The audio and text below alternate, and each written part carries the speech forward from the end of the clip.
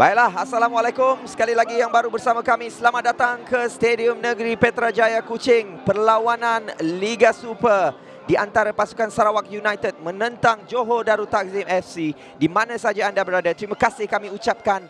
Teruskan bersama kami, tumpukan perhatian. Kita akan saksikan satu permainan yang cukup-cukup menarik. Saya pasti sebentar sahaja lagi. Ini adalah Encik Awang Bahtiar, Awang Bakar dari Pusat Serahan Mel Siburan.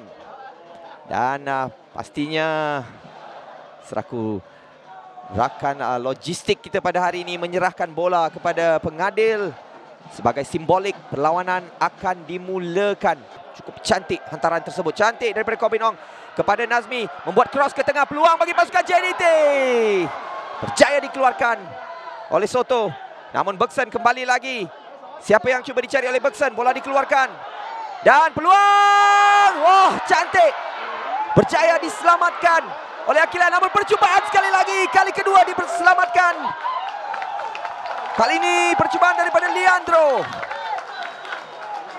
Shane kepada Corbin Ong. Satu flick yang cuba dilakukan.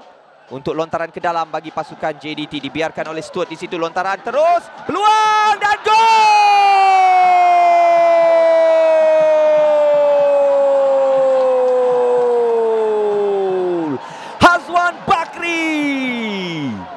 Menjaringkan gol pertama JDT di minit yang ke-13. Satu kelekaan daripada pertahanan pasukan Sarawak saya kira daripada lontaran ke dalam yang cepat diambil oleh Corbin On. Kita saksikan, menyaksikan larian daripada Hazwan. Satu tap in yang cukup mudah menewaskan Akila Abdul Rahman. Zarmin sebenarnya.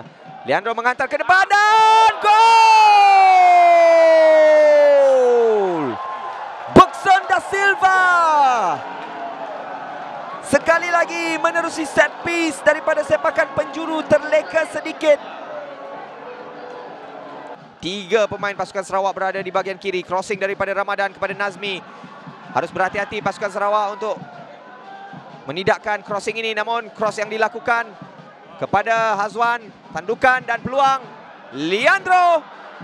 Masih lagi Ramadan berada di situ. Crossing daripada Ramadan. Syami. Peluang. Flick daripada Stuart. Ada Bergson di belakang. Kepada Corbin Ong atau siapa? Leandro. Tinggi sepakan daripada Leandro. Stuart Walk yang akan mengambil sepakan. Bagaimana?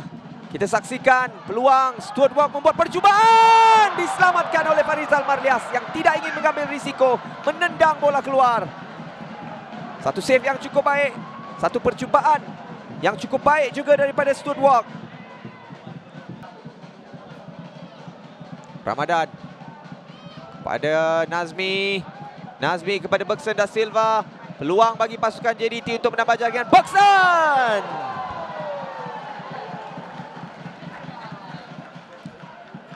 Sedikit terkeluar di bahagian kiri tiang gol pasukan Sarawak. Ong Wan Shane Lowry.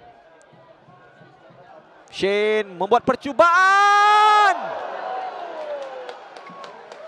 Tiada pressure yang dilakukan oleh pertahanan pasukan Sarawak terhadap larian ke hadapan oleh Shane Lowry.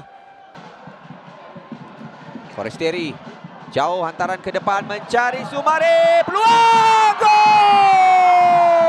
Syami Safari sebenarnya yang berada di situ. Gol yang ketiga.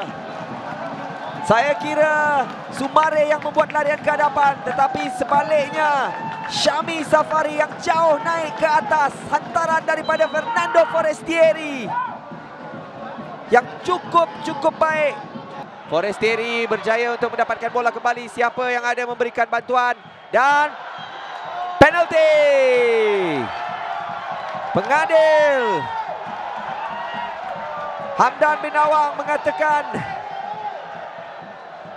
Khairul Khairil Anwar Ahmad Beto membuat satu tackle terhadap Fernando Forestieri. Forestieri gol! Mudah bagi Fernando Forestieri untuk membuat sepakan di bahagian kanan tiang gol pasukan Sarawak. Hamdan bin Awang meniupkan whistle. 4-0 di Stadium Negeri Petrajaya Kuching. Kemenangan yang meletakkan JDT terus melebarkan sayapnya di singgah sana Liga. Dengan kemenangan ini meletakkan mereka 32 mata dari 12 perlawanan